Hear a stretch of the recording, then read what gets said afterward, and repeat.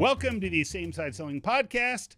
I'm your host. I know it's a big surprise, Ian Altman.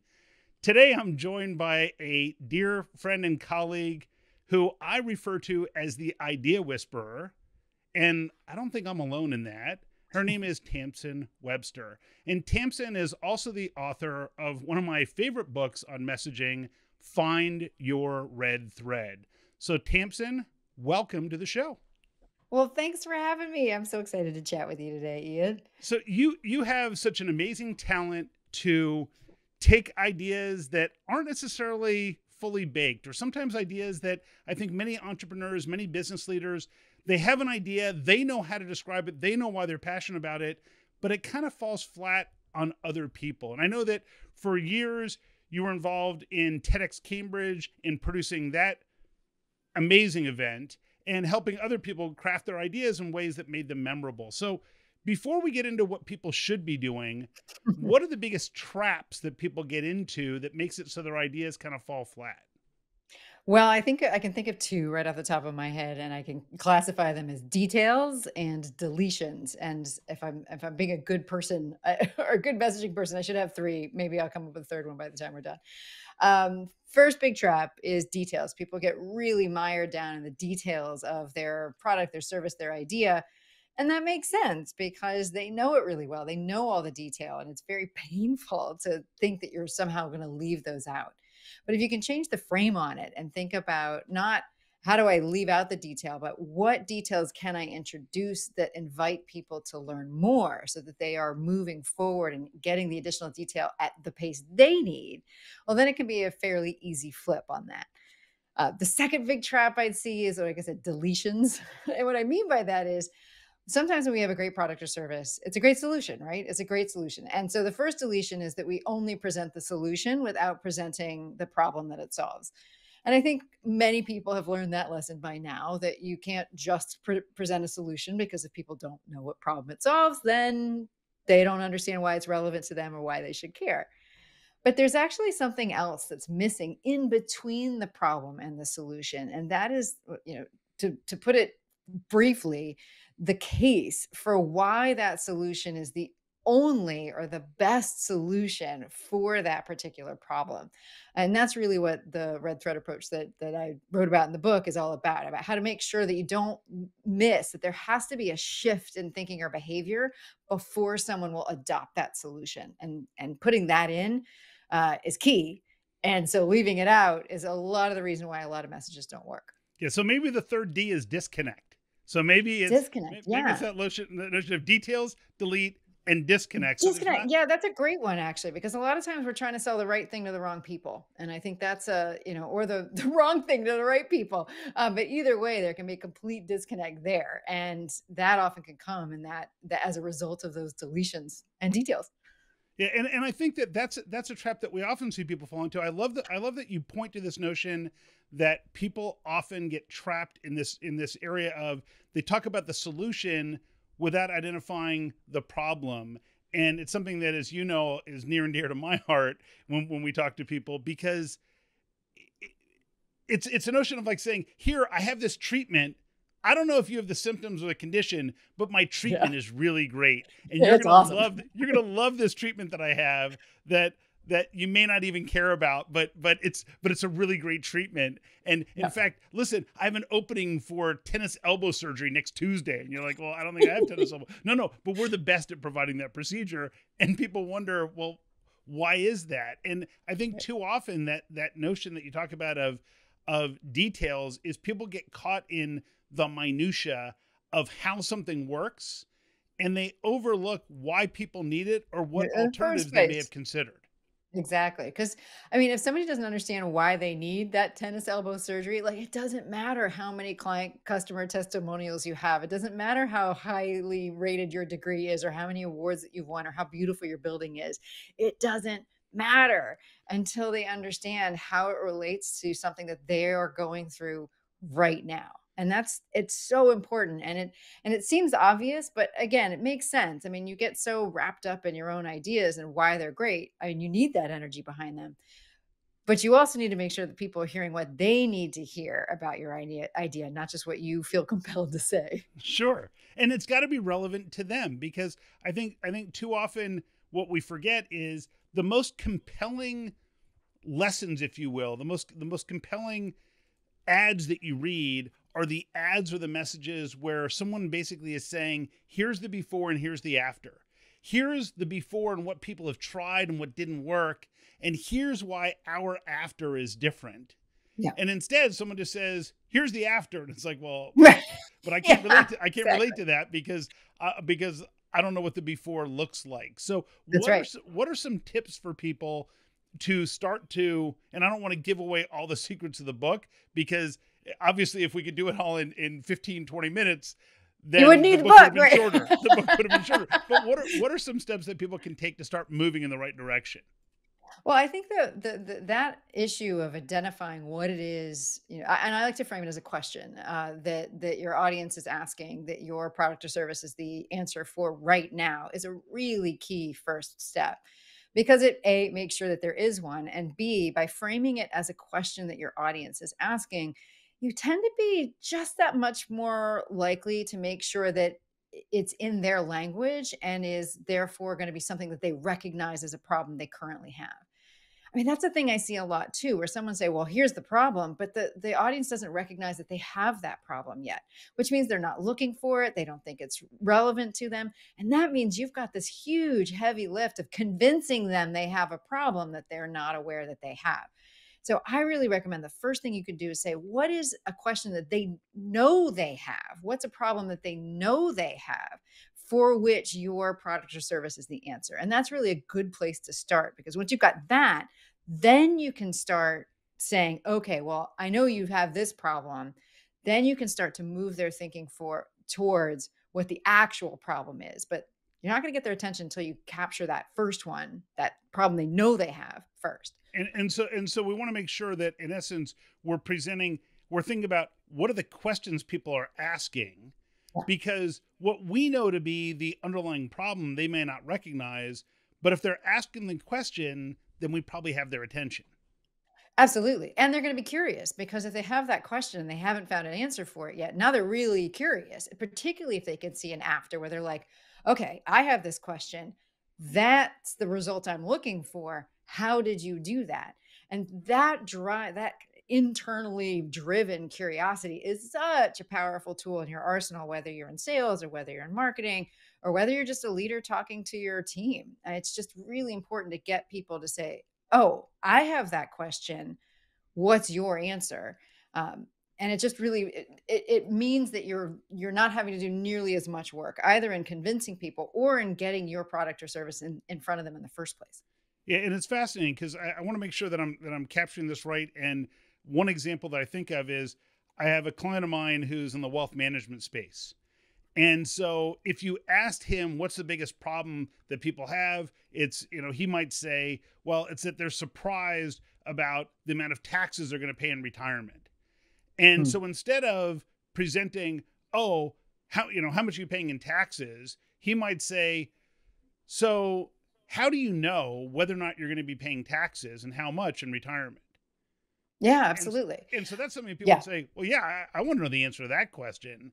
And then as well, exactly the, as he goes through the discussion, then he then he might say, well, and oftentimes what surprises people is when they get to retirement, they expect here's the income I'm going to have, but a bunch of that goes away because of taxes. And if people haven't planned for that, then all of a sudden they have less disposable income they thought they would. And now the person's saying, I might have that same problem. I want to hear more. Is that kind of the direction we're going? Absolutely, absolutely. I, I so a similar example that I did uh, was working with a group of mortgage uh, brokers essentially, and we started from this, you know, and this idea of, you know, from the mortgage broker's perspective, they know that the answer lies in kind of matching the mortgage to what somebody's long-term goals are but that's not the question people are asking when they first walk into you know or, or, researching online what are they looking for they're looking for what's the best rate yeah. so you you need to lead with some version of like how to find the best rate for your mortgage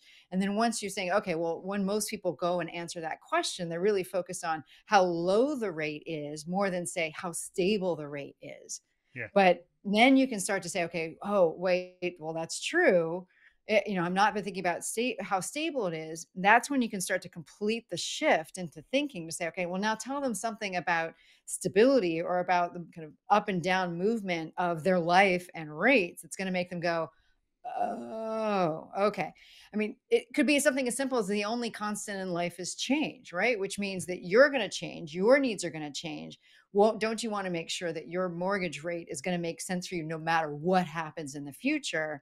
So now instead of just thinking what's the best rate, now start to define the best or the lowest rate in the terms of what's the best rate that matches your long term needs.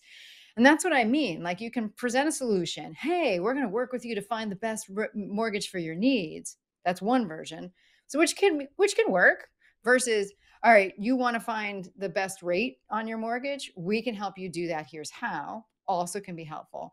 But to be able to have that whole flow that creates that shift, not just from problem, what's the best rate, to solution, match the mortgage to your needs, but there's that really critical connective tissue that shifts the thinking from low to stable acknowledgement of change. Okay, now that's why matching the mortgage to my long term needs is so important. Great. And so it could even be a function of they, they might create content that says, when is the lowest rate not the best rate for you? Absolutely. Right. Because now you're starting to create curiosity around their question. So you can flip the question on its head, you can appro- approach it from different angles but you're you know, just even from a marketing standpoint because that's that was that was my background for 20 plus years uh, it means that it's a lot easier for people to find you because they're not searching for how do i match a mortgage to my long-term goals that's not what they're searching for they're they're searching for what's the best rate like and so it's an opportunity to educate but not in a condescending way. It's an opportunity to go, hey, it makes sense that you're thinking about it in these terms. Have you thought about it in these terms as well? And then when you can make a case for that, that's really rooted in what your audience cares about, it becomes really hard for them to ignore that new perspective. That's great. So so that notion of making sure that we're in essence leading with a question that you can almost universally get your your ideal clients are going to say, "Yeah, that's a good question. I'd like to know the answer to that." Yes. And, Without and, convincing. Yeah, exactly. And, and, and and it's probably something that also qualifies out the people who aren't a good fit because the people not wondering about that question probably not, not your people for you. nope, it's exactly right. Yeah, I mean, I, um, you know, before I started my business, I I spent a number of years working in sales messaging, and that's really one of the things that I heard loud and clear that is one of the tensions between sales and marketing. So was, you know, it was a fun thing for me to see the other side. But that ability to use what you're talking about and how you're talking about it as a way to qualify your leads is a way to find a that middle ground but b to just make your conversations or content that you're sending out to people much more efficient and much more likely to get the right people coming through yeah it's it's fascinating. We have so i i have these cohorts that i run in the same side selling academy that we do you know a couple times a year. And and one of the groups right now it's people who have who have just started making outbound calls leading with the kinds of problems they solve the questions they hear. And it's it's always it brings a smile to me every time when i when someone says yeah and it's a whole lot easier and it seems like everything moves faster and and some people just aren't a fit we find out in the first 30 seconds and the people who are they quickly move to how can we how can we help them and it's like right Yes, because because you're not pitching your features and benefits and and and you're after before the before the before. Yeah, you're not trying to boil the ocean. You're not trying to just say, "Hey, anybody want this?" right? You're, you know, it is. You're very much saying, "We're for this. Like, this is the problem we solve. If you have that problem, great. We have an answer. Here's the effect it's going to have. Interested in that? great now we now we can get into the details and so it's it really is building on that idea that Seth Godin introduced oh the low these many years ago about permission marketing in a lot of ways it's like permission sales it's about saying okay do you have this question yes all right is this how you've typically been looking at it yes would you agree that this is an also an equally logical equally equally easy for you to adopt perspective on this? Yes. Would you agree that this is a really important reason to focus on that? Yes. And at that moment, right, you've put the right pieces into place for someone to say yes to your product and service because they've said yes to all the concepts that create it. And that's really the the key. And a lot of times we just jump to, "Hey, do you like the thing?"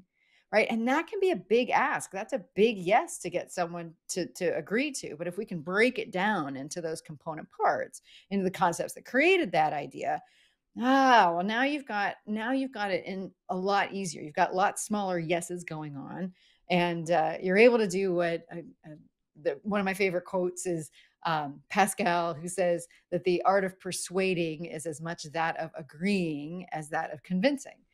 And it just makes it a lot easier and generally a more comfortable process for both prospect and salesperson when you can just move it along that way. Sure. And and, and you're starting with I, I love that you mentioned Seth Godin's idea of permission based marketing because it's a matter of what, what what I advise people, and we have we have this program coming up that we call the cold outreach playbook, and the whole part of it is not holding somebody captive, but saying, when we speak to people like you, what we hear is that these are the top two or three things we help them solve.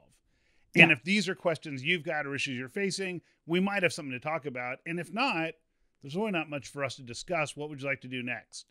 Yeah. It's like, absolutely. If, and I'm like, okay, that was easy. if they're interested, they lean in. If they're not, they walk away. And you can't spend your life trying to push a rope because it's not going to work.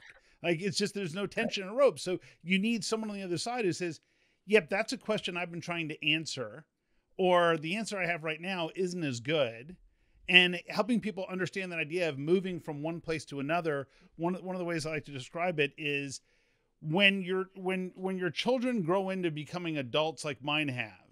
Yeah. It's not that their pediatrician all of a sudden started being terrible and their pediatrician isn't a good doctor anymore. What we learned is that at some point our kids outgrew the resources of the pediatrician and they needed to go to an adult doctor. We don't have to bury the pediatrician and say they're awful because they don't treat adults. We just get to say our needs have changed and now we moved on. So a lot of times for businesses, people are reaching out and trying to attract customers who already have an existing solution and we can't vilify the other people, but if we help people see that look, when you selected that vendor, it was probably the single best resource you could have for your needs at the time.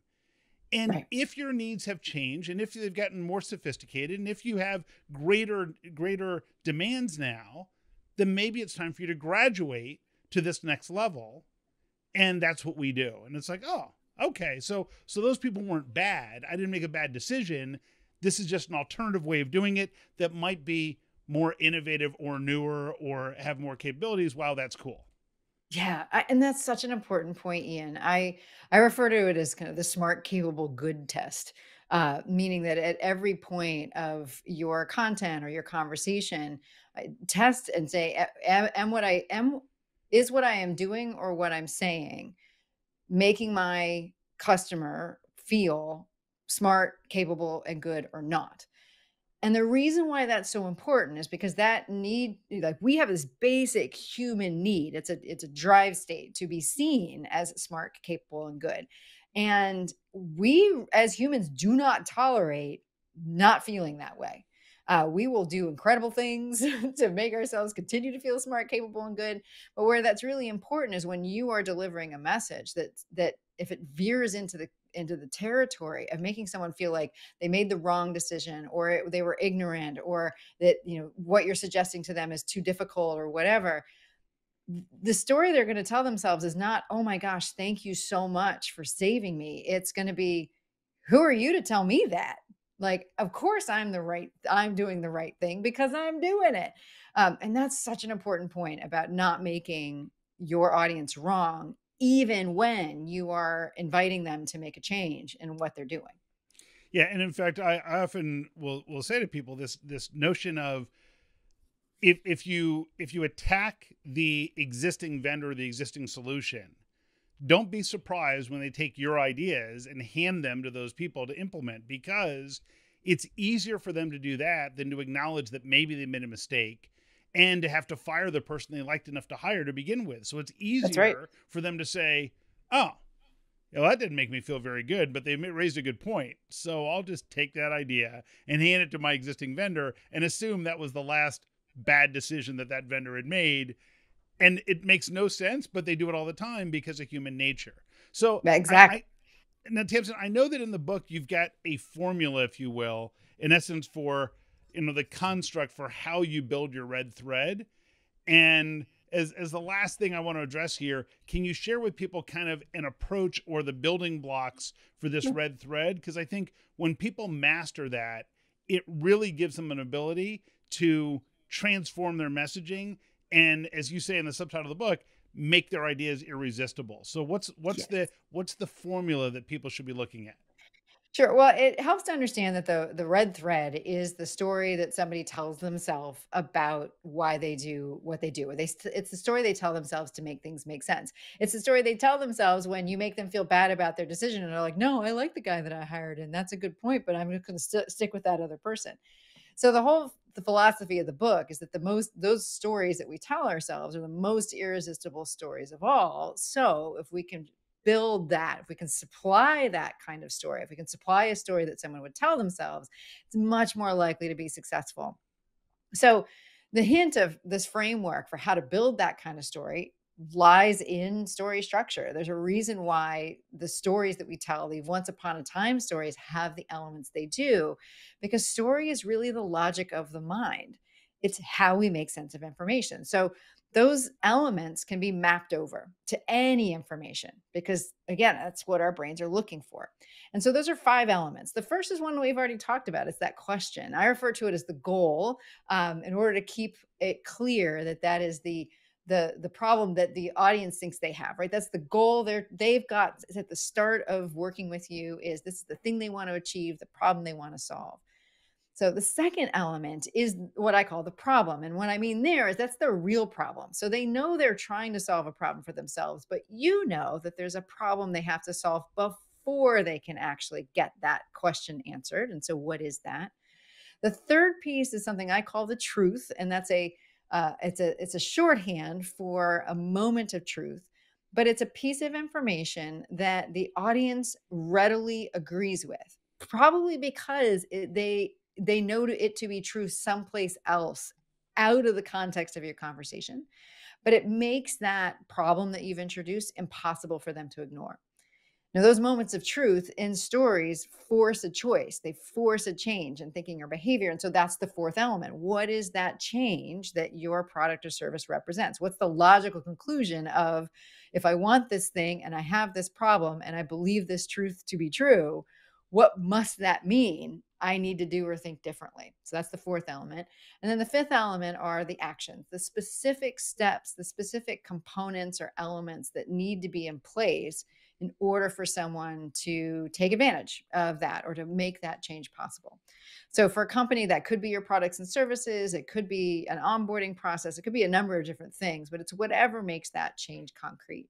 And so those elements, goal, problem, truth, change, action, when put together, they supply that story that makes your idea make sense to them.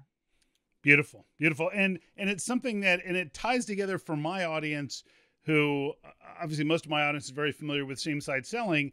It, it's very consistent, which is which is why we often have a meeting the minds about these things. Because yes. in the research I've done with over ten thousand executives on how people make and approve decisions, what questions do people ask? Well, they ask, well, what problem does this solve? Why do I need it? And what's the likely outcome or result?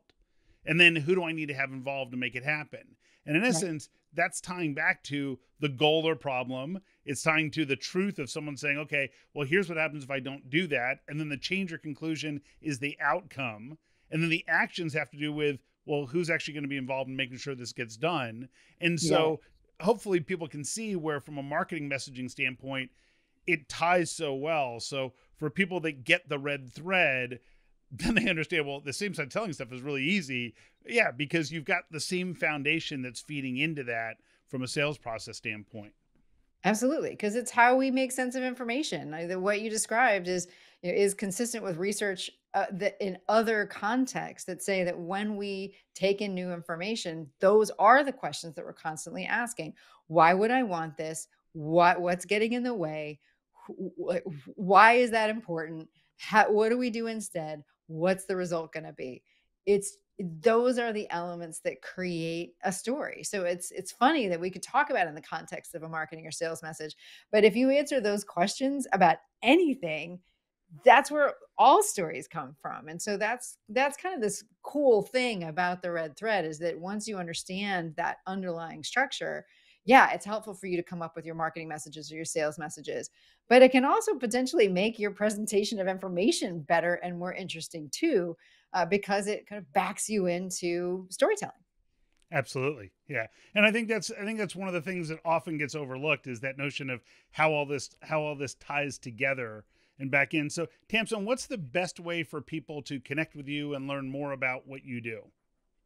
Uh, best way is tamsenwebster.com. I am literally the only Tamsen Webster in the universe, or at least the only one that Google reveals to me in, in, existence. So I'm not that hard to find. Uh, but on my website, you can find things like how to sign up for my newsletter, uh, what I do, how I work with folks, content that I write, and other things. So that's the best place to start. That's great. Let me give a quick 30 second recap of what I think is the is some of the key information that people can take away and apply to their business based on our discussion. And then I will give you a final opportunity for rebuttal to to, to fill in where, I, where I where I left out things. So um, first, remember this idea of the traps that people fall into in, and we're going to call it three elements of details, deletion, and disconnect. In making sure you're providing the details that people need and not the details they don't. That on the deletion side, um, you'll tell you'll tell more about the deletion side and that disconnect of making sure that your ideas are relevant to the people to whom you're sharing them. And then when it comes to building your red thread, remember those five elements of making sure that you're speaking to and telling a story of the goal, the underlying problem, the truth that virtually everyone there is going to be able to nod their head and agree with, and then the change or conclusion result that they're going to get, and then of course the actions to make that happen. So, what did I leave out? Uh, not much. That's impressive. But back to the deletions, the biggest thing is is that we leave out the story. Remember that story is a logic of the mind. And so we either give people just the end of that story, here's what to do different, or we give them the beginning and the end, here's your problem, here's our solution. But we leave out the story in between. And that's really what people have to hear in order to truly convince themselves that your idea, your product, your service is the best one for them. Awesome. Well, Tamsen, thanks so much for sharing your wisdom. Hopefully, now people understand why I refer to you and other people refer to you as the Idea Whisperer. And I encourage people to pick up a copy of Find Your Red Thread if you're not as fortunate as I am and already have it. And um, feel free to reach out to Tamsen. She's a wealth of knowledge. So thanks for joining me. My pleasure. Thank you so much.